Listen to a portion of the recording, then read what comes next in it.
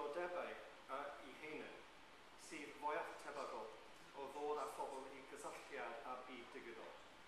Fe ddefnyddiodd menter cyhoeddiant digidol gyntaf y cynulliad cymunedau at y gilydd a ddaeth i ben ym mis mawrth. Y syniad hwn i helpu i gefnogi prosiectau ar draws ardal cymunedau yn gyntaf. Roedd y gwaith hwn yn fath o gymorth ar gyfer datblygu Mae menter olynol y cynlliad, cymunedau 2.0, wedi cychwyn yn ddiweddar a bydd yn datblygu ar waith da cymunedau at ei gilydd. Mae cymunedau at ei gilydd wedi adeiladu ar brofiad rhaglen cymunedau yn gyntaf drwy sefydlu bloceriaid cymunedol i gydweithio â cymunedau y cymunedau mwyaf difrifentiedig Cymru i benderfynu ar yr angen lleol a'r ffordd orau o fynd i'r afael ar anghenion hynny. Fe allai hi'n fod yn sefydlu cyrsiau digidol adrodd stori neu weld y gymuned yn redeg i gosaf radio digidol i hi.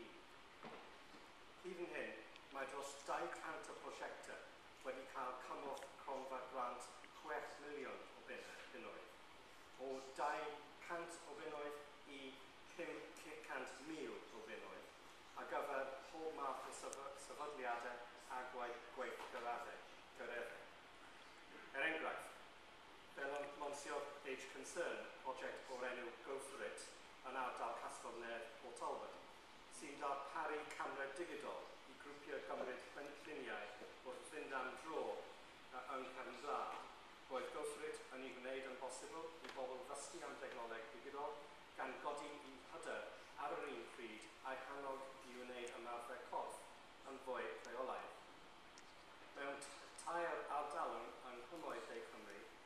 fel oedd lleudoedd llawer erioed wedi dod i gysylltiad a technoleg, technoleg gwybodaeth o blaen. Fe sefydlodd gwirfoddolwyr dair gors, gorsaff radio gymunedol am dri mis a'i reoli. Gan ddechrau o dechrau, hyfforddwyd y grwpiau i ddefnyddio offer darlledu digidol yn ogystal ar y we a Microsoft Office i wneud dwi'n dwlio nesaf, roedd raswyr colomenod yn neu Cymru yn dal i weithio o, o gofnodion papur. Erbyn hyn, mae nhw'n defnyddio proseswyr geiriau, lluniau digidol ac e-bos i anfon gwybodaeth at ei gilydd a chysylltu â chymdeithasau tebyg ledled y Deyrnas Unedig. Mae grwpiau ar hyd y Cymru wedi bod yn datblygu straeon digidol am eu cymunedau gan ddefnyddio lluniau ac adnoddau archifau ar lain. Mae'r dychymyg y mae pobl wedi i ddangos wedi bod yn syllfanol. Mae'r pobl sydd wedi bod yn gweithio yn yr ardal hon ers peth, peth amser hyd yn oed wedi cael agoriad llygad o ran potensial cynhwysiant digidol a'r llun uh, y mae'n gallu i gyflawni i bobl ledled Cymru. Mae pobl fach,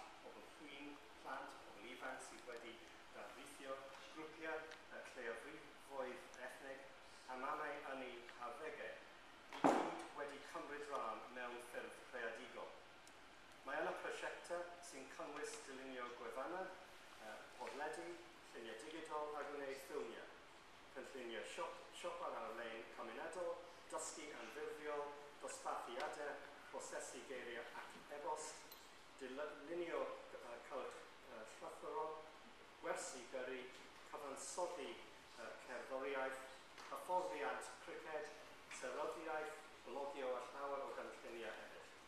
Mae cynlluniau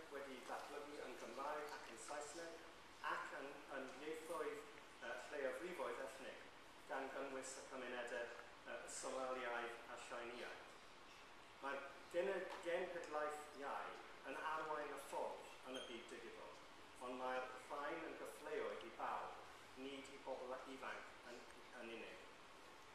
Mae'n bwysig sicrhau bod Cymru yn cael i cynrychioli'n iawn ar y we drwy cynhyrchu cynnwys diwylliannol a chymunedol Cymreig, er bod llawer iawn o weithgarwch newydd yn digwydd yn y cyfryngau, cyfryngau Cymraeg, tybed a fyddai môl you need.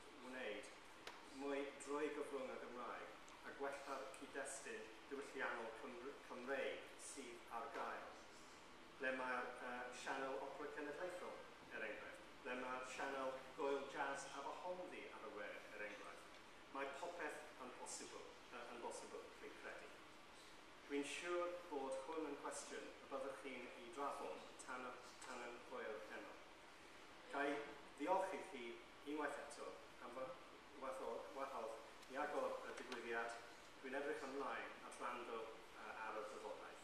Diolch yn fawr.